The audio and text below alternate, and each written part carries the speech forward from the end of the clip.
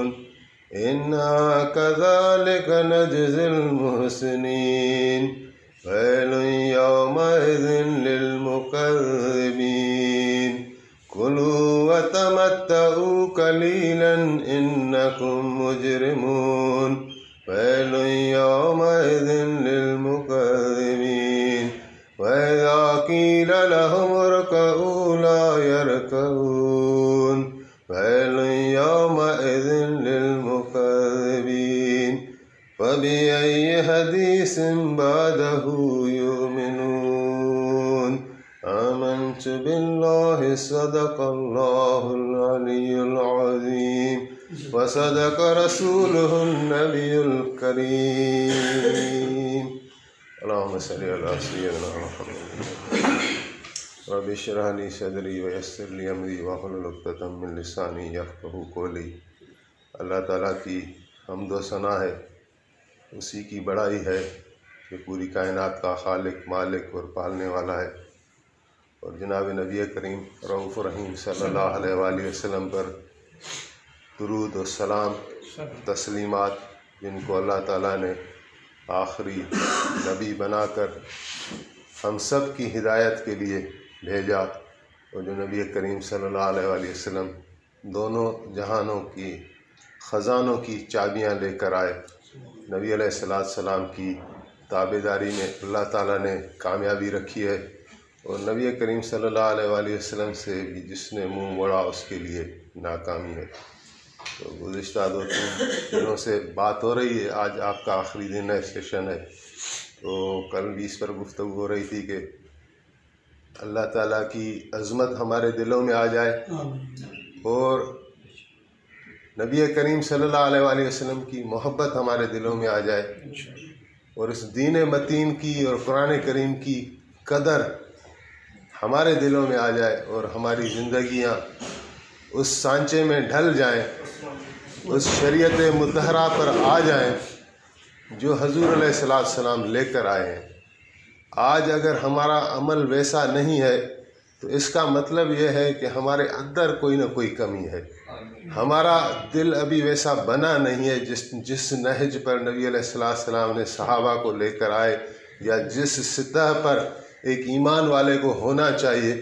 तो हमारे अमाल जो होते हैं, हमारे जो शब रोज़ जो होते हैं, वो असल में एक मैसेज देते हैं कि हमारे अंदर क्या है, हमारे जहन में क्या है, हमारे दिल में क्या है। तो वैसे हमारे अमाल होते हैं।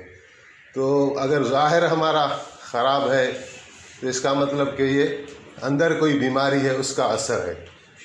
तो ये जो सूरत मुरसलात में से आखिरी रुकू पढ़ा गया। इसमें भी अल्लाह ताला ने दो किस्म के लोग बताए हैं। एक वो हैं जो मुत्तकीन हैं, जो परहेजगार हैं। उनका अंजाम अल्लाह ताला ने बताया है कि उनको परेशानी कोई नहीं होगी। क़यामत में उनके लिए चश्मे होंगे, उनके लिए साए होंगे, उनके लिए फल, फ्रूट होगा और उनको कहा जाएगा कि खाओ और पियो। जी भर कर खाओ और पियो। और ये आपको उन कामों का नतीजा है जो आप करते रहते थे। और अल्लाह ताला फरमाए, मैं एहसान करने वालों को इसी तरह बदला देता हूँ।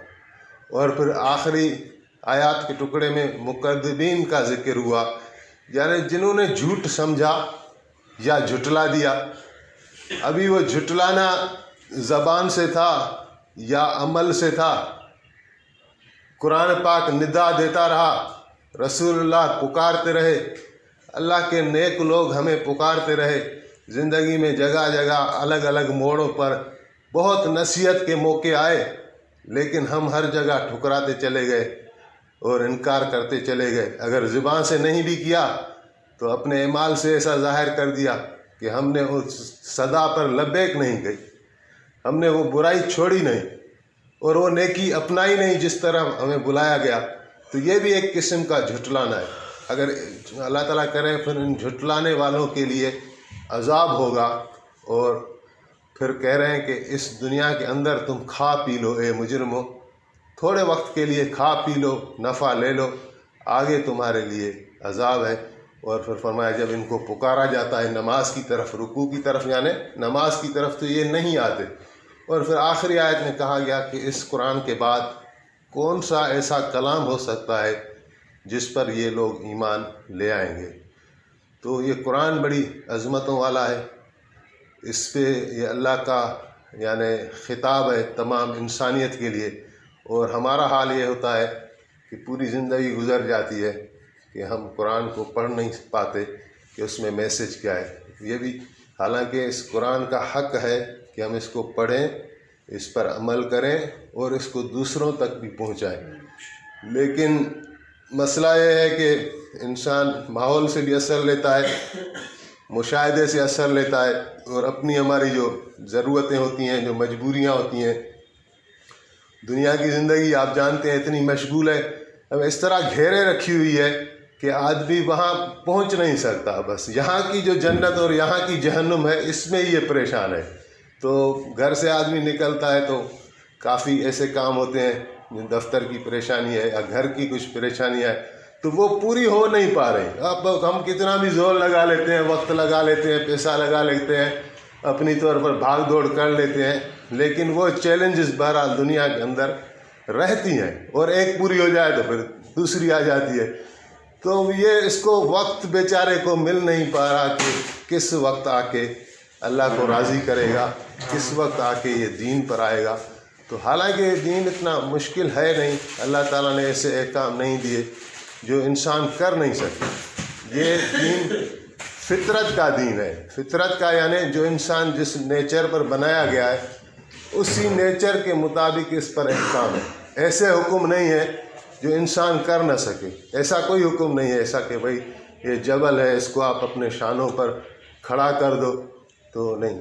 अगर नमाज़ की मिसाल लें, कलमे के बाद हमारे पास क्या है? सबसे अहम रुकन नमाज़ है। जब जब हमने अशद ला अशद मोहम्मद रसूलुल्लाह सल्लल्लाहु अलैहि वसल्लम, ये जब हमने कह दिया तो इस कलमे के पढ़ने के साथ साथ ये शरीयत मतहरा हम पर लागू हो गई बुज़ुर्ग कहते हैं ना कि अबू जहल ने शायद आज के मुसलमान से कलमे को ज़्यादा समझा हुआ था कि नहीं पढ़ रहा था। उसको पता था कि जब अगर मैं कलमा पढ़ूँगा तो मेरा जो रहन सहन है मेरी जो मर्ज़ी है मेरी जो अकड़ है मेरी जो काम है वो मुझे सारे छोड़ने पड़ेंगे। मुझे नबी सलाम के पीछे जा, जाना पड़ेगा इनकी ताबेदारी करनी पड़ेगी। अगर ऐसा ही होगा वह कलमा पढ़ लो और जो मर्ज़ी करो तो फिर शायद वो भी पढ़ लेगा लेकिन इस कलमे के साथ एक पूरा कानून है जो उस पर अप्लाई हो जाता है। कुछ चीज़ करनी है, कुछ चीज़ नहीं करनी। जो करनी है, उसमें सबसे बुलंद पाया चीज़ कौन सी है, वो है नमाज़। सारे अहकाम दुनिया के अंदर अल्लाह ताला ने भेजे। जिदरी लेकर आया, रोज़ा फ़र्ज़ हो गया, ज़क़़त आ गई, हज आ गई। लेकिन नमाज़ का जब वक्त आया तो नमाज़ अल्लाह ताला ने फ़र्ज़ की महराज वाली शब हजूर को ऊपर बुला के आसमानों पर यह अमल दिया गया, बतौर तोहफ़ा। और फिर यहाँ तक नहीं, अगर हजूर को अल्लाह ताला ने महराज कराया तो नबी अलैहिस्सलाम ने फरमाया कि असलात महराजुलमोमिन ये महराज में तुम अपनी उम्मत के भी ले, के लिए लेकर आया हूँ, वो नमाज़ है। ये बहुत बहुत बहुत ऊँचा अमल है। अल्लाह ताला को पसंदीदा है। अल्लाह ताला के कुर्ब का सबसे एक अहम वसीला नमाज़ है। एक हदीस में है कि जब कोई इंसान सजदा करता है तो उसका ये सर जो है, वो अल्लाह ताला के दोनों कदमों के दरमियान होता है। इस तरह ये नमाजी जो है, वो अल्लाह के करीब चला जाता है और इसके गुनाह नमाज़ माफ़ कराती है, दर्जात को नमाज़ बुलंद करवाती है और नेकियाँ नमाज़ से मिलती है। तो नमाज़ के बे इंतहा फ़ज़ाइल हैं। तो उसको अगर देखूँ, बात ये कर, चल रही थी कि अगर हम दीन मतीन को देखें तो क्या ये इतना मुश्किल है कि हम चल नहीं सकते? तो उसमें सबसे पहले तो नमाज़, अगर नमाज़ दिन रात में पाँच वक्त फ़र्ज़ है और पाँच वक्त की अगर हम कैलकुलेशन करें तो बीस रकात बनती हैं जो लाजमन हमें पढ़नी है, जो सत्रह उसमें फ़र, फ़राइज़ में आती हैं और तीन वितर की आती हैं। अगर सुन्नतें भी मिला दें तो ये तीस पैंतीस से ज़्यादा नहीं है। तो एक रकात अमूमन आम तौर पर एक मिनट के अंदर पूरी हो जाती है। चार रकात की नमाज़, चार मिनट। तो तीस पैंतीस मिनट मिनट की कुल रकातें मिला के आपके चालीस मिनट और बीस मिनट वज़ू के भी मिला लें तो यानी ये कितना हो गया? एक घंटा हो गया। और अल्लाह ताला हमें रोज़ाना दे रहा है चौबीस घंटा और मांग रहा है एक घंटा। तो वो भी अगर हम ना कर सकें तो फिर इस अपने आप पर इल्ज़ाम देना चाहिए, ना कि किसी और पर। तो एक तो ये अच्छा अगर नमाज़ पढ़नी है रसूलुल्लाह सल्लल्लाहु अलैहि वसल्लम ने फरमाया कि नमाज़ जन्नत की चाबी है और नमाज़ की चाबी वज़ू है। खाली वज़ू की इतनी फजीलत है कि रसूलुल्लाह सल्लल्लाहु अलैहि वसल्लम ने हज़रत बिलाल से पूछा एक मरतबा कि, बिलाल तुम्हारा क्या अमल है कि मैं देखता हूँ कि जन्नत में तुम्हारे कदमों की आहट में सुन रहा हूँ, गोया तुम मेरे से भी आगे आगे चल रहे हो। तो हज़रत बिलाल अर्ज़ करने लगे कि यार रसूलुल्लाह, मेरा तो ऐसा कोई ख़ास अमल नहीं है। यह है कि मैं बावज़ू रहता हूँ और जब मेरा एक वज़ू साकित हो जाता है तो फिर मैं नया वज़ू बना लेता हूँ। और जब नया वज़ू बना लेता हूँ तो दो रकात नफिल पढ़ ही लेता हूँ। तो इस अमल की वजह से इतना बड़ा मकाम मिला। और एक मरतबा आपसे पूछा गया कि, या रसूलुल्लाह, आपकी उम्मत बढ़ती जाएगी। आप उनको देख नहीं पाएँगे। उन्होंने आपको देखा ना होगा। तो क़्यामत वाले रोज़ आप उनको कैसे पहचानेंगे? तो आपने फरमाया कि, मेरी उम्मत के ये चेहरे क़यामत वाले दिन चमकते होंगे वज़ू की वजह से। मेरी उम्मत के ये बाजू चमकते होंगे। वज़ू की वजह से मेरी उम्मत के पाँव नूर से चमकते होंगे। वज़ू की वजह से और उस वजह से मैं इनको पहचान लूँगा। तो कितना एक छोटा अमल है और क्या मुश्किल है अपना चेहरा धोना है, अपने हाथ मुँह धोने हैं और इसका इतना सवाब अल्लाह ताला दे रहा है। और एक हदीस में है कि जब आदमी कोई वज़ू करके रात को सोता है, सोते वक्त बिस्तरे में जाता है तो उसके लिहाफ में एक फ़रिश्ता उसके साथ सो जाता है। तो और अगर ऐसी हालत में वो उठ ना सका, ज़िंदगी मौत की अमानत है, किसी वक्त भी आ सकती है। तो अगर उसी रात वो वज़ू की हालत में सोया था और मर गया तो उसको शोदा के दर्जे में शामिल किया जाता है। तो छोटी छोटी ये चीज़ें हैं, और उसके साथ साथ जो है, हमें तहारत सीखनी चाहिए। तहारत के मसाइल में एक कहते हैं, हमारा है हद से अकबर और एक को कहते हैं हद से असगर। एक छोटी नापाकी और एक बड़ी नापाकी। अगर बड़ी नापाकी से मुराद वो है कि जब हम कोई ऐसा काम करें जिससे गुस्ल वाजिब हो जाता है तो फिर वो वज़ू से नहीं दूर होगा, वो गुस्ल से नापाकी दूर होगी। और छोटी नापाकी है, पेशाब पाखाना कर लिया उल्टी आ गई, खून कहीं से बह गया, जिन चीज़ों से वज़ू टूट जाता है, यानी छोटी नापाकी को ले आए, वो छोटी नापाकी दूर करनी पड़ेगी, फिर जाके हम नमाज़ के अहल हो सकेंगे। तो एक ये, और एक ये कि जब हम अल्लाह ताला की तरफ़ मुतवजह हों, तोबा करें, कि जो हुआ अल्लाह ताला माफ़ करने वाले हैं तो उसके साथ साथ जो है, सबसे अहम चीज़ यह है कि हमारा जो ताल्लुक़ है आपस में, जो अगर मैं यहाँ ड्यूटी सर अंजाम दे रहा हूँ बहसीत इंस्पेक्टर तो मेरे और भी किरदार हैं। मैं घर में अगर जाता हूँ, मैं बाप भी हूँ, मैं शोहर भी हूँ, मैं बेटा भी हूँ, मैं भाई भी हूँ, भाई का भाई भी हूँ और बहन का भाई भी हूँ तो इसी तरह मैं मामू भी हूँ, चाचा भी हूँ। तो हर माशरे में हमारे अलग अलग किरदार हैं। तो उस किरदार में भी हमारी टेस्ट हो रही, हर लम्हे। कि मैं अगर बेटा हूँ तो कैसा बेटा हूँ? अगर मेरे ऊपर अल्लाह ताला ने रोज़ा, नमाज़ और शरीत मतहरा लागू की है तो उसके साथ साथ देखें अल्लाह ताला ने क्या हमें किस चीज़ का मुकलफ बनाया है। कुरान पाक की मुख्तलिफ़ आयत हैं। एक आयत है वाबुल्ला वला तुशरक बिही शैया वबिल वालदेन एहसाना। कि इबादत करो ख़ास अल्लाह की और अल्लाह के साथ किसी को शरीक ना करो और फिर माँ बाप के साथ हुसन सलूक करो। व कदा रब का अल्लाह तबदुल्ला वबिलवालदेन एहसाना सुनत बनी इसराइल में अल्लाह ताला ने फरमाया कि तुम्हारे रब ने यह फ़ैसला कर लिया है कि तुम किसी की इबादत नहीं करोगे, सवाए उस रब की और माँ बाप के साथ हुसन सलूक करोगे। तो अल्लाह की इबादत के बाद सबसे ऊपर यानी हम हमारे ऊपर सबसे ज़्यादा हक किसका है? माँ बाप का है। और माँ बाप के साथ जो भलाई है वो अल्लाह ताला को पसंद है। और माँ बाप को जो सताता है और यानी तकलीफ़ देता है वो उसके लिए दुनिया में भी ख्वारी हो जाएगी और आखरत में भी अगर उसने तोबा नहीं की तो, तो माँ बाप की वो दुआएँ तो करते रहते हैं लेकिन दुआ लगती उसको है जो दुआ लेता है। नेक अमाल यानी आप ऐसी खिदमत करें कि उनके दिल से दुआ निकले। नेकी जो होती है ना, वो एक किस्म की दुआ है। मैं अलहमदिल्ला एक साल मैंने उम्र पर गया था तो एक वहाँ लंबे कद वाले हिंदुस्तान के आदमी मिले। तो मैंने उनको कुछ ज़्यारतों को कहा कि जो लोकल आदमी होते हैं, उनके पता होता है कि कौन सी कब्र कहाँ है। तो वो हमें लेकर जा रहा था। तो वो लंबा था, उसके कदम भी बड़े लंबे थे तो मैं मैं, मुझे तेज़ चलना पड़ता था उसको पहुँचने के लिए। तो उसने मुझे आसपास की ज्यारत की, करवाई और कहा, यार, ये मैं अल्लाह की खातिर कर रहा हूँ और आप जो है, मेरे लिए दुआ करें, मक्के में आए और आप अगर दुआ ना भी करेंगे ना तो ये मेरा चलना ही दुआ है।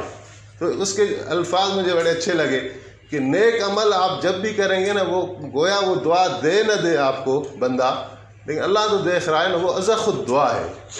तो इसकी कोशिश करें और अड़ोस पड़ोस में अगर पड़ोसियों का ख्याल रखें, इतना कहा गया, इतना कहा गया कि रसूलुल्लाह सल्लल्लाहु अलैहि वसल्लम ने फरमाया कि पड़ोसियों के बारे में हज़रत जबरील ने आके मुझे इतनी ताकीद की, इतनी ताकीद की कि मुझे लगा कि आगे चलकर अल्लाह ताला इनका हिस्सा, जायदाद में मुकर कर देगा कि जब आदमी कोई मरे तो जिस तरह बेटा वारिस होता है तो विरासत से कुछ हिस्सा शायद पड़ोसियों को भी अल्लाह ताला दिलवा देगा।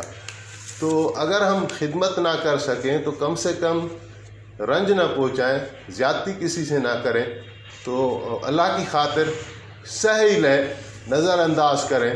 तो फिर इसमें यानी एक हदीस भी है कि मन तवाज़ रफ़ा जिसने अल्लाह की खातिर अपने आप को झुका लिया, अल्लाह ताला ने उसका दर्जा बढ़ा दिया, बुलंद कर दिया। तो बाज़ अवत कुछ भी नहीं होता। एक अनासी होती है, वो उधर खड़ा है, आप उधर खड़े हैं। और हालाँकि वो नुकसान जो होता है उसकी कोई अहमियत नहीं होती। दोनों पार्टियाँ बखुशी उनका, यानी अजाला भी कर सकते हैं, बर्दाश्त भी कर सकते हैं, लेकिन वो एक अना का मसला बनाया होता है। तो इस तरह, यानी एक कैफियत बन जाती है। हैदराबाद में एक वाक़ हुआ था, अखबारों में आया था कि वो तीस बंदे उसमें झगड़े में मारे गए, यानी एक एक एक साथ नहीं, लेकिन एक दुश्मनी सी हो गई। उसमें वजह क्या बनी थी कि शुरू में किसी बाग में से बच्चों ने या बड़ों ने, वो आम होते हैं ना, केरी बोलते हैं जो, वो तीन चार उनकी वो वहाँ से, यानी निकाली थी तो उस पर झगड़ा शुरू हुआ। और कत्ल की नौबत, फिर इसका कत्ल, फिर उसका कत्ल। तो एक तीस चालीस रुपए की जो मालियत वाली चीज़ है, उस पर यानी इतना नुकसान हो गया। तो ये थोड़ा सब्र रखना पड़ता है। अल्लाह ताला के ख़जाने लामहदूद हैं। हम कहीं झुक जाएँ, अल्लाह की खातिर बर्दाश्त कर लें, सब्र कर लें। ये हजूर सलाम ने हमें दरस दिया है। आपकी मुबारक ज़िंदगी को देखते हैं।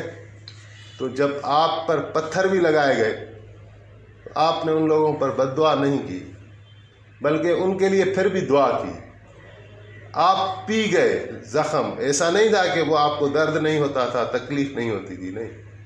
आपके चाचा को, हज़रत हमज़ा को शहीद किया गया और उनके लाश का मुसल्ला बनाया गया। तो आप वहाँ खड़े हुए तो आप ज़ारो कतार रो रहे थे। आपने फिर फरमाया भी कि मैं, या अल्लाह, ऐसी दुख वाली जगह पर आज खड़ा हुआ हूँ कि इससे पहले मैंने ऐसा दुख कभी नहीं देखा। तो ये चीज़ें महसूस होती थी, लेकिन अल्लाह की खातिर आप माफ़ कर देते थे। हाँ एक चीज़ थी, इमाम गज़ाली साहब ने लिखा है कि रसूलुल्लाह सल्लल्लाहु अलैहि वसल्लम पर जब ज़ाती तौर पर जो तकलीफ़ आती थी, उसको तो आप माफ़ भी कर देते थे, बर्दाश्त भी कर देते थे। लेकिन जब अल्लाह की खातिर या अल्लाह के दीन की खातिर कोई ऐसी बात करता था जो यानी दीन की मुखालफत में हो तो आप इतना गज़बनाक होते थे कि आपके गुस्से को कोई नहीं रोक सकता था। कि अल्लाह का कलमा बुलंद हो जाए, अल्लाह के अहकाम छा जाए। इस पर कोई कंप्रोमाइज़ नहीं था। तो यह है मतलब कि हम नमाज़ की तरफ़ आ जाएँ और जो हमारे ताल्लुकात हैं, रिश्तेदारों को जोड़ें। नबी अलैहिस्सलाम ने फरमाया कि यानी जो शख्स जो चाहता है कि उसकी उम्र में बरकत हो और उसके माल में भी बरकत हो, उसको चाहिए कि अपने रिश्तेदारों के साथ हुसन सलूक करे। रिश्तेदारों में सबसे पहले हक तो माँ बाप का है, उसके बाद आपके बहन भाई हैं, फिर चाचा है पुफी है, मासी है, या उनकी औलादें हैं तो उनके साथ बकदर, यानि हक उनका जो बनता है, हुसन सलूक करे। लेकिन वहाँ यही बातें आ जाती हैं कि हुसन सलूक से मुराद ऐसी भी बात नहीं है कि अगर वो अल्लाह की नाफरमानी कर रहे हैं तो हम भी जाके उसमें शामिल हो जाएँ। वही मैंने अर्ज़ की कि जहाँ अल्लाह की हदूद होंगी, वहाँ मोमिन के लिए यही हुक्म है कि वो अल्लाह की हदूद का ख्याल करेगा। वो सामने कोई भी आ जाए, माँ आ जाए, बाप आ जाए, जहाँ अल्लाह की फरमा बरदारी का सवाल होगा, वहाँ अल्लाह की मानी जाएगी मखलूक की नहीं मानी जाएगी। लेकिन माँ बाप चाहे यहूदी हों, चाहे ईसाई हों उनके साथ हुसन सलूक का दरस दिया गया है और उनके साथ बदतमीज़ी ना करें, किसी भी हालत। हमारे एक बड़े बुज़ुर्ग गुजरे हैं, आपने नाम सुना होगा, हज़रत उबैदुल्ला सिंधी। ये यहूदी से मुसलमान हुए और बड़े पाए के आलिम बने। उन्हें तलब होती है ना ख़ास तौर पर जो नॉन मुस्लिम अगर बस अपनी चॉइस के साथ जो इस्लाम में दाखिल होते हैं तो फिर वो हमारी तरह घर नहीं बैठते। बस वो इस दीन के पीछे लग ही जाते हैं। कि मेरे अंदर भी आ जाए और पूरी दुनिया के अंदर आ जाए। तो अब्दुल्ला सिंधी वो ज़बरदस्त आलिम भी बने तो उनकी माँ फिर भी यहूदी थी। तो वो अपनी माँ को गिरजा घर खुद ले जाता था और वो ज़यीफ़ हो गई तो उसको उठा के ले जाता था। क्योंकि माँ बाप के साथ हुसन सलूक है, ऐसा उसको नहीं कहा कहा जाएगा कि यानी वो गर्जा तो तुम बुत परस्ती है, ये है। अब कह सकते हैं, यानी उनके उनको तलकीन करें, नेकी की तरफ़ पुकारें लेकिन ऐसा नहीं कि यानी उनके साथ कोई जबर करें या जुल्म करें या नाफर यानी बेअदबी करें, इसकी मना है। बेअदबी नहीं कर सकते। अदब के साथ। तो ये मामला हमने अगर ठीक कर लिए और इबादत में हमारा जो सबसे बड़ा टेस्ट है वो नमाज़ का है। तो नमाज़ की तरफ़ आ जाए और अगर पाँच नमाज़ पढ़ना हमारी कुत से बाहर है तो एक दो वक्त जो हमें नसीब हो उसकी तो कोशिश करें। तो इससे अल्लाह ताला उसमें और हमें, यानी तरक्की दे देगा। और अल्लाह से मांगनी चाहिए ये चीज़ें कि हमें हमारी तोफ़ी में अल्लाह ताला हमारा, यानी इजाफ़ा करे। और पाँच वक्त की नमाज़ बा जमायत के बड़े फ़जाइल आए हैं। एक शख्स था, नाबीन था, हजूर के सहाबा में। उसने आके नबी सलाम को अर्ज़ की कि, या रसूलुल्लाह, मैं नाबीन हूँ, मुझे मस्जिद में आने में थोड़ी तकलीफ़ हो रही है। मैं चाहता हूँ कि मुझे आप रुख्सत दें और मैं नमाज़ घर पे अदा करूँ। तो आप सलाम ने उससे पूछा कि, आज़ान जब आती है तो आवाज़ तुम सुनते हो? तो उसने कहा, या रसूल आवाज़ तो मैं सुनता हूँ। तो आपने फरमाया कि फिर तुम्हें मस्जिद में आना पड़ेगा। माफ़ी नहीं है जमात से। तो एक नाबीन शख्स को भी माफ़ी नहीं है। तो हमें तो अल्लाह ताला ने कितने एहसानात से नवाजा है, हाथ, पाँव, सब कुछ सलामत है, सेहत है, आँखें देख रही हैं, कान हम सुन रहे हैं, हम इस मुल्क में रह रहे हैं, अल्हम्दुलिल्लाह, इस मुल्क में रह रहे हैं, जहाँ जगह जगह मस्त मसाजिद, वज़ू खाने वगैरह बने हुए, कोई हमें तकलीफ़ नहीं है। और यानी अगर दस मिनट भी होते हैं ना तो मैं एक मस्जिद छोड़ देता हूँ कि अगर मोटरसाइकिल पर दस मिनट का काफ़ी फासला मैं तय कर लूँगा और मुझे नमाज़ भी मिल जाएगी। तो अलहमदिल्ला यानी एक नेटवर्क, एक जाल बिछा हुआ है मस्जिदों का। हम ऐसे मुल्क में रह रहे हैं और ऐसे मुल्क में रह रहे हैं अल्लाह का करम है कि आप नौकरी में हो, आप किसी काम में हो, नमाज़ का टाइम आ जाए, आप यानी बिल्कुल डंके की चोट पर आप अपने ऑफिसर को, अपने सेठ को कह सकते हैं कि भाई मैं नमाज़ के लिए जा रहा हूँ। कोई आपको मना नहीं करेगा। तो मेरा एक कज़न है, वो इंग्लैंड में रहता है उन्नीस सौ नब्बे से। तो वो कह रहा था कि एक मरतबा मैं और मेरा दोस्त किसी फैक्ट्री वगैरह में काम करते हैं तो नमाज़ के लिए निकले तो हमारा बास था वो, गोरा अंग्रेज़। तो बोला, हमें देखा ही जा रहे हैं। तो उसने पूछा जुम्मे का वक्त होगा, मेरा कज़न भी इतना नमाज़ का पाबंद है तो नहीं? तो कहा कि, कहाँ जा रहे हो? तो हमने कहा, हम नमाज़ को जा रहे हैं। बोला, नहीं भाई, नमाज़ आप पढ़ेंगे अपने टाइम पर। ये जो हमने आपसे ड्यूटी ले रहे हैं, ये हमारा टाइम है, इसका हम आपको पे करते हैं, पैसे देते हैं। तो आप हमारे टाइम में ये नहीं पढ़ सकते। तो बोला, हम वापस हो गए। तो ये हमारे मुल्क में अल्लाह ताला ने हमारे ऊपर एहसान किया है। तो एक नमाज़ कोशिश करें, जमायत के साथ पढ़ें।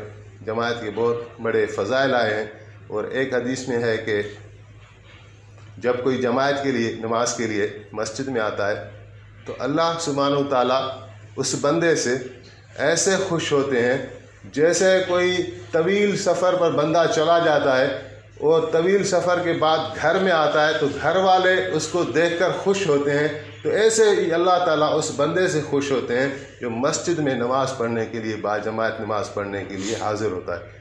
तो ये इतने बड़े ख़जाने आज हमें मिल रहे हैं, लेकिन हम लेने के लिए तैयार नहीं, हमने सब कुछ मरना जीना इस दुनिया को बनाया हुआ है। तो यानी थोड़ा इंसान अपने जहन से चलता है। अगर हम अपना जहन बना लेंगे, ओ तो हम उस अमाल पर आ जाएँगे। अगर थोड़ी फ़िक्र करेंगे तो हम अपने उन अमाल पर आ जाएँगे। और फिर अल्लाह का ज़िक्र करें, पाँच वक्त नमाज़ पढ़ ली, वज़ू कर लिया, कपड़े वपड़े साफ़ रखें और अल्लाह के ज़िक्र को पकड़ लें। कि अल्लाह के ज़िक्र में बड़ी बरकतें हैं, बड़ा नाम है। अल्लाह का नाम बहुत बड़ा है। दुनिया के लिए अल्लाह ताला ने फरमाया कि वम हयात दुनिया इल्ला मताउन कलील। कि दुनिया की ज़िंदगी कुछ भी नहीं है, एक थोड़ा सा सामान है, वो ख़त्म होने वाला है। अभी वो किसी के पास बहुत सारी दुनिया हो, किसी के पास मुख्तसर हो, उसको भी दुनिया छोड़कर जानी है, इसको भी छोड़कर जानी है। लेकिन हम दुनिया में मुशाह करते हैं कि जिसको अल्लाह ताला ने ज़्यादा दिया है तो उसको और ज़्यादा तलब है, और ज़्यादा बेचारा वो मोहताज है। अगर किसी को, यानी एक छोटा सा मिसाल समझे, अगर मेरे पास साइकिल है तो मैं अभी कहूँगा, मैं किसका मोहताज बन गया? मैं कहूँगा कि मेरे पास मोटरसाइकिल हो। मैं उसका मोहताज बन गया, या आरजूमंद बन गया। और बाइक आ गई तो फिर मैं बोलूँगा, मेरे पास तो कार हो। तो जिस तरह मुझे चीज़ें मिलती जा रही हैं, वैसा मेरा दायरा बढ़ता जा रहा है। तो ये एक ना ख़त्म होने वाली कहानी है। कहानी ख़त्म नहीं होती, हम ख़त्म हो जाते हैं। तो दुनिया मुकद्दर से मिलती है। अल्लाह ताला ने थोड़ा दिया, ज़्यादा दिया। उस पर कनात कर लें, उस पर सब्र कर लें। थोड़ा रुख आखरत की तरफ़ भी कर लें, ताकि हमारे हाथों से ऐसे अमाल ना हो, जिनका फिर आखिर में तलाफ़ी ना हो सके। और मौत हमारा ताकुब किए हुए हैं। किसी वक्त भी इंसान को मौत आ सकती है। तो फिर फरमाया, दुनिया की ज़िंदगी मुख्तसर कलील है और अल्लाह ने अपने ज़िक्र को क्या फरमाया कुरान पाक में? वल ज़िक्र अकबर। अल्लाह का ज़िक्र अकबर है, बुलंद है, बड़ा है।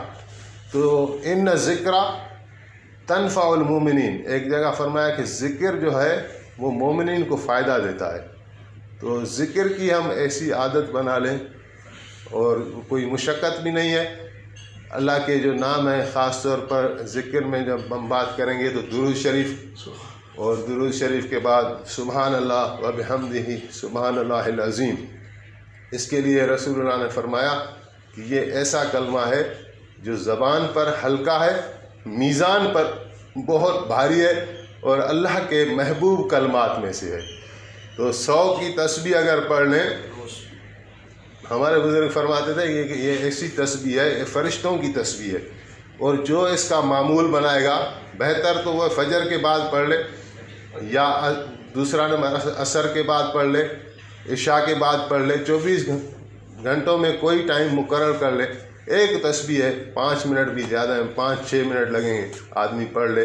तो उसका फरमाया कि अल्लाह ताला उसका असर इसमें ज़ाहिर करेगा, दुनिया की ज़िंदगी में। फ़रिश्तों की तस्वीर है और फ़रिश्ते जिस तरह फ़रिश्ते कैसे ज़िंदगी गुजार रहे हैं, एक तो उसमें इतमान होता है। फ़रिश्तों में परेशानी नहीं होती। और हाजतें उनको मारे मारे नहीं फिरती कि आज मेरी ये परेशानी, आज उधर पहुँचना है। यानी एक चैन और सुकून आ जाएगा ज़िंदगी के अंदर। अल्लाह ताला हाजतें पूरी करेगा और यानी उसकी बरकत से हमारे और अमाल की भी तोफ़ी मिलेगी। अल्लाह से उम्मीद है। एक छोटा अमल भी अगर हम शुरू करें ना, इस नीयत के साथ कि अल्लाह हमारे लिए आसानी करे, अल्लाह हमारी और तोफ़ी में इजाफ़ा करे छोटा अमल ही शुरू करें ना, आप उसकी बरकतें देखें। इन देखने में आएँगी। तो छोटे छोटे अमाल हमारे इसमें भी मिलता है, हमारी तारीख में। एक बुज़ुर्ग हैं, बशर हाफ़ी नाम शायद सुना हो। तो वो शराब पीते थे। मवाली किस्म के आदमी ऐसी ज़िंदगी गुजार रहे हैं। हाँ और मशहूर हो गए थे। अपनी अलामत की वजह से शहर में मशहूर थे।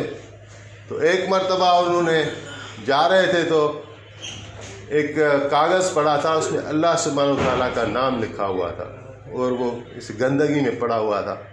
तो उसको ना बिल्कुल क्लिक हुआ वो घबरा गया कि अल्लाह का नाम इस तरह पड़ा है। तो उसने जाके उसको उठाया, धोया, साफ़ किया, चूमा और बड़े किसी अपने घर में ऊँचे मकान पर रख दिया।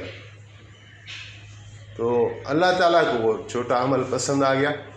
हज़रत अली ने फरमाया कि जो अमल अल्लाह कबूल कर ले तो वो छोटा नहीं होता। क्योंकि अल्लाह सुबहान ताला अपनी शान के मुताबिक देते हैं। और जब अल्लाह देने को आए तो बंदा फिर नाकाम नहीं हो सकता। तो वो था तो छोटा अमल, लेकिन अल्लाह को ऐसा महबूब आ गया कि वो फिर ज़माने के वली बन गए। और आज लोग उनकी मिसालें दे रहे हैं। और ऐसी और भी मिसालें हदीस में भी हैं कि एक बनी इसराइल की औरत थी, हजूर फरमा रहे, वो औरत ख्वाहिशा थी। वो औरत अच्छी नहीं थी। तो एक मरतबा वो कहीं से गुज़र रही थी तो एक कुत्ते का बच्चा था। वो प्यास की शिद्दत से मरने के करीब था। तो उसको इसने पानी पिलाना चाहा कि ताकि ये बच जाए। तो कुआँ था और कुआँ से पानी उठाना बड़ा मुश, मुश्किल था। तो इसका दुपट्टा था या जूता था किसी तरह उसने वो मेहनत करके वहाँ से पानी लिया और उस कुत्ते के बच्चे को छोटे बच्चे को पिलाया। तो हदीस शरीफ में है कि उसका अमल अल्लाह को मकबूल हो गया और अल्लाह ताला ने उसको जन्नत में दाखिल कर दिया। तो ये छोटे छोटे अमल हैं। अगर बनी इसराइल वालों के साथ ऐसी मेहरबानी है तो हमारे पीछे तो नबी सलाम की शफकत है, दुआएँ हैं। तो गुनाहों से बचें।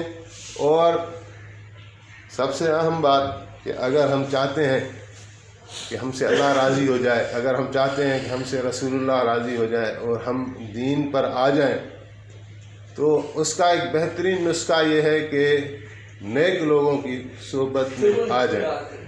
अल्लाह वालों की सोबत में आ जाए, बैठ जाए। हजूर सलाम को एक मरतबा कुरान पाक की आयत आई कि वसबिर नफ्सत मालजीन यदून रब बिलगदात वलशी यूरीदून वजह कि हबीब करीम, आप उन लोगों के साथ बैठे जो सुबह और शाम अल्लाह का ज़िक्र करते हैं। तो रसूल बाहर आए, मस्जिद नबी में जाकिरीन का हल्का बैठा हुआ था, ज़िक्र कर रहे थे। तो आपने कहा कि मैं अल्लाह का शुक्र अदा करता हूँ, मेरी उम्मत में अल्लाह ताला ने ऐसे बंदे बनाए जो मुझे हुक्म हो रहा है कि उनके साथ जाके बैठो। और फिर आपने फरमाया कि मैं अगर इतने इतने ग़ुलाम दस बारह कितने ग़ुलाम बोले, अभी मुझे जहन में नहीं आ रहा। लेकिन आपने फरमाया, मैं इतने इतने ग़ुलाम आज़ाद कर दूँ। इस नेकी से भी मुझे ये ज़्यादा पसंद है कि मैं चंद लम्हात उन लोगों के साथ बैठूं, जो फजर के बाद और असर के बाद अल्लाह का ज़िक्र के लिए बैठे रहते हैं। तो ये जाकिरीन के साथ हम ताल्लुक़ रखें, अल्लाह वालों के साथ ताल्लुक़ रखें, नेक लोगों के साथ मोहब्बत रखें, कुछ टाइम निकालें नेकी की जहाँ दावत चल रही है, नेकी की जहाँ मजलिस चल रही है, जहाँ ऐसी मजलिस है, अल्लाह का की बड़ाई बयान की जा रही है, रसूलुल्लाह सल्लल्लाहु अलैहि वसल्लम की नातें कही जा रही हैं। हजूर सलाम पर दरूद कहा जा रहा है। इन मजालिस में जाके बैठें, कोई हम तरतीब बनाएँ, हफ़्ते में, महीने में तो उनसे हम बरह रास्त एक असर होता है। कहते हैं, चराग से चराग रोशन होता है। एक दिल से दूसरे दिल तक ये किसी तरह यानी असर पड़ता है। अगर नेक के साथ बैठेंगे तो वो असर लाजमी पड़ेगा और अगर बुरे लोगों के साथ बैठेंगे तो वो भी असर लाजमी पड़ेगा। एक बुज़ुर्ग थे, उनका फरमान है, शायद सुफियान सूरी थे या ऐसे कोई बड़े बुज़ुर्ग हैं तो वो फरमा रहे हैं कि अगर कोई शख्स खुद तो नेक है, दीन का लिहाज रखता है नमाज़ रोज़ा ये वो। लेकिन उसका उठना, बैठना, उसकी नशस्त व बर्खास्त, उसकी मजलिस ऐसे लोगों के साथ है जो दुनियादार है। और एक ऐसा शख्स है जो है खुद तो दुनियादार, उससे हो नहीं पाता कि दीन पर पूरा अमल करे, लेकिन उसकी मोहब्बत इन लोगों के साथ है। जो टाइम मिलता है, आके बैठ जाता है अल्लाह वालों के साथ। तो फरमा रहे हैं, जब इन दोनों का इंतकाल होगा तो वो नेक आदमी भी बद होकर मरेगा क्योंकि उसकी सोबत बुरे लोगों से थी और ये बुरा आदमी था, लेकिन इसकी सोबत अच्छे लोगों से थी। जब मौत आएगी तो इसको ईमान पर आएगी। तो ये एक यानी ऐसी मिसाल है, जैसे एक बुज़ुर्ग ने कहा कि पानी की मिसाल दी। बोला, पानी को अगर आप फ्रीज़र में रखें तो ये बर्फ़ बन जाएगा। फ्रिज में रखें तो ठंडा बन जाएगा। और अगर आग पर रखें तो ये भड़कने लगेगा। बोला, पानी वही है, लेकिन उसको जो माहौल दिया गया है, उसके असरात आप खुद देख रहे हैं। तो अल्लाह वालों की सोबत और मोहब्बत, ये हमें जो है, वहाँ से जो है, वो आदमी सीख लेता है। और सहाबा कराम दीन भी इस तरह फैला कि वो एक दूसरे के साथ मेल जोल रखते थे, दीन की खातिर मोहब्बत रखते थे। और जो ऐसे लोग हैं, जो किसी बुराई में मुबतला हैं और वो ऐसी मजालस कर रहे हैं शराब की वगैरह। उनमें आदमी न बैठे। उनमें अल्लाह की लानत बरसती है। और हम अगर जाके बैठ जाएँगे तो हम भी उसका हिस्सा बन जाएँगे।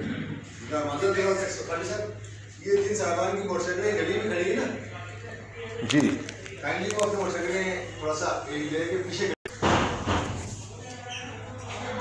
तो बस यही मुख्तसर अर्ज़ यही है कि हम कोशिश करें ख़ास तौर पर जिन चीज़ों का कहा गया, तहारत सीखे और नमाज़ को सीखें और नमाज़ पढ़ने की कोशिश करें। ज़िक्र हमारे लिए बहुत बड़ी दौलत है। दुरूद शरीफ के फ़जाइल पहले भी बयान किए गए सुबहान अल्लाह वला अकबर वला वला क़ुत बिल्लाजीम ये तीसरा कलमा है। ये इसको बाक़ियात तो सालियात भी कहते हैं। हज़रत इब्राहीम सलाम से जब नबी सलाम की मुलाकात हुई थी मेराज वाली शब तो हज़रत इब्राहीम ने हजूर को कहा कि मेरा अपनी उम्मत को सलाम कहना और उनको कहना कि ये जो कलमात हैं सुबहान अल्लाह अल्हम्दुलिल्लाह, अल्लाह अकबर, ला वला वला कुत ये जन्नत के दरख्त हैं। जो चाहता है उसकी जन्नत सर सब्ज़ हो तो वो ज़्यादा से ज़्यादा इन कलमात को पढ़े। तो इनका एक बहुत अजर है। और फिर अस्तफ़ल्ला का मामूल बनाए।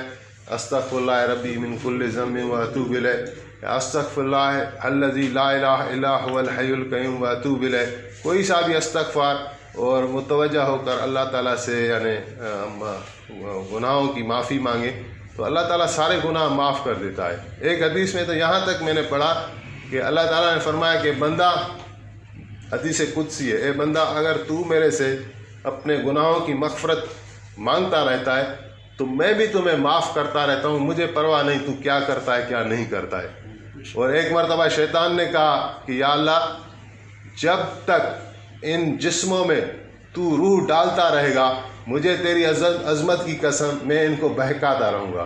तो अल्लाह ताला ने उसका जवाब दिया कि, मुझे भी अपनी इज़्ज़त और जलाल की कसम है, जब तक ये मेरे से माफ़ी मांगते रहेंगे, मैं इनको माफ़ करता रहूँगा। तो कितने बड़े फ़जाइल है। और हम कुछ भी ना कर सकें, एक तस्वीर भी ना पढ़ सकें, एक वक्त की नमाज़ भी ना पढ़ सकें, और अल्लाह पनाह दे कि इसी आलम में हम मर जाएँ तो कितना बड़ा नुकसान है। तो ये थोड़ी बहुत चीज़ें हैं। अगर हम खुद नेक बनेंगे तो अल्लाह ताला उसकी बरकतें हमारे घरों में ज़ाहिर करेंगे, हमारी औलाद भी नेक बनेगी, हमारे अड़ोस पड़ोस दोस्तों में भी एक अच्छा मैसेज चला जाएगा। तो यही है, बस ज़िक्र करें और अपना मामला हम ठीक रखें तो इतनी बड़ी मुश्किल बात नहीं है। तो जो कहा गया, अल्लाह ताला हमें और आपको उसकी तोफ़ी कता फरमाए। सर, एक छोटा सा मसला अगर थोड़ा सा हमारे जहन में भी